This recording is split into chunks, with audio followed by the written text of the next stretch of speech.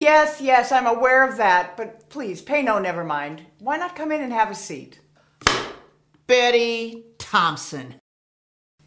Mrs. Swanson. Oh, I'm Katie Olson. Oh, Katie, I've known you since you were knee high to a grasshopper. I'm Betty, Betty Thompson, Aunt Ella's best friend. Ha! Phony. What did you call me? You heard me. Mrs. Swanson, please.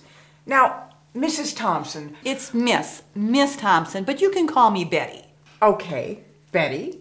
To what do we owe this pleasure? Well, I saw the ad in the paper that you have a room to rent. What happened to your double wide mansion? Well, I'm building a house, didn't you know? A brand new one. But it's not going to be ready for a couple of months, and so when I saw the ad, it's perfect for me. I came right over. A new house? Well, of course, it was the first thing I did after I got my contract for the Cocklebur Morning Show. I'm the new food expert, and I get to share some of my secret recipes. You mean Aunt Ella's secret recipes? For your information, Mrs. Swanson, Aunt Ella gave those recipes to me. Katie, can I see you in the kitchen a minute? Why, sure. Prairie Ann, would you mind pouring a little coffee for Miss, I mean, uh, Betty? Thank you. Throw her out on her ear. Mrs. Swanson, what's gotten into you? She is a gourmet cook wannabe.